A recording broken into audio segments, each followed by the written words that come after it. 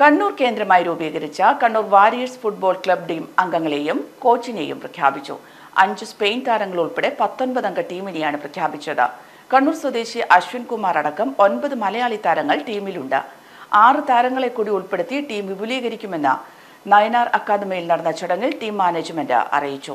ഈ കണ്ണൂർ വാറിയേഴ്സിന്റെ ലോഞ്ച് ഒരു വലിയ വലിയ ഇവന്റ് ആയിട്ട് ചെയ്ത് ഫസ്റ്റ് ഇവന്റ് മുതൽ ഇതിനൊരു കിക്ക് സ്റ്റാർട്ട് പ്ലാൻ ചെയ്ത് വെച്ചിരുന്നതാണ്. പക്ഷെ അതിനിടയിലാണ് നമ്മളെല്ലാവർക്കും അറിയാവുന്ന പോലെ വയനാട് ദുരന്തം സംഭവിച്ചത്.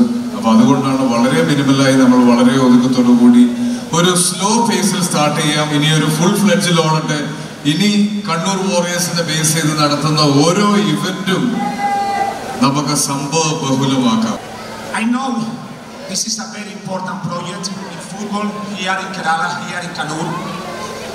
I would like to take advantage of this opportunity.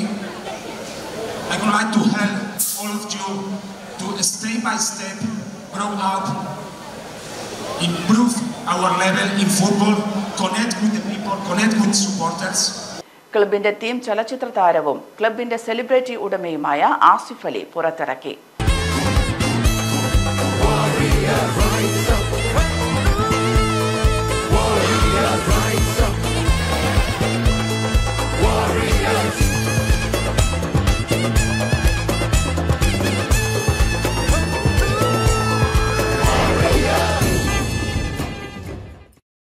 ചടങ്ങിൽ പഴയകാല താരങ്ങളെ ആദരിച്ചു. നല്ലൊരു വളരെ ഇൻസ്പിറേഷണൽ ആയിട്ടുള്ള ആണ് വന്ന് സോ മച്ച് സർ ഇവരെല്ലാവരും നമ്മുടെ കണ്ണൂരുകാർക്ക് വലിയൊരു ഇൻസ്പിറേഷൻ ആണ് എന്ന്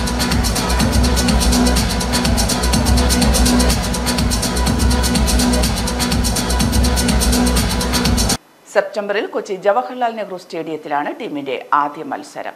പുതുതായി തുറന്നു പ്രവർത്തനം ആരംഭിച്ച new China Bazaar and gift centre Eripuram junction Taliparamba road.